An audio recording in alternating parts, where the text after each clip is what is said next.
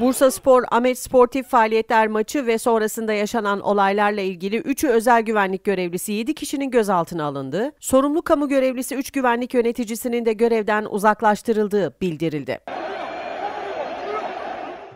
Başsavcılıktan yapılan yazılı açıklamada TFF ikincilik takımlarından Bursa Spor'la Ahmet Sportif faaliyetler arasındaki müsabaka sonrası soyunma odası koridorunda meydana geldiği iddia edilen darpla ilgili Bursa Cumhuriyet Başsavcılığı tarafından soruşturma başlatıldığı belirtildi. Açıklamada iddiaların tüm yönleriyle soruşturulduğu ifade edildi. Devam eden soruşturma kapsamında stadyumda görevli olan özel güvenlik sorumluları AT, AD ve SK'nın da aralarında yer aldığı 7 kişi gözaltına alındı.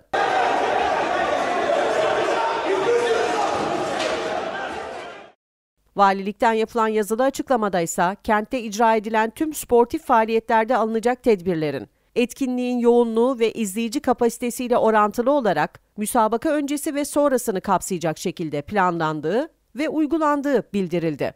Bugün kentte oynanan TFF ikincilik takımlarından Bursa Spor'la Ahmet Sportif faaliyetler arasındaki müsabaka ile ilgili olarak sorumlu kamu görevlisi 3 güvenlik yöneticisinin görevden uzaklaştırıldığı belirtilen açıklamada bu kişiler hakkında soruşturma başlatıldığı aktarıldı. Pankart açma olayına karışan ilgililer hakkında teşhis, tespit ve yakalama çalışmasıyla maç sonunda soyunma odasında gerçekleşen darp olayına ilişkinse sorumlular hakkında Bursa Cumhuriyet Başsavcılığı koordinesinde adli işlem başlatıldığı aktarılan açıklamada bu kapsamda şu ana kadar 7 kişinin gözaltına alındığı kaydedildi.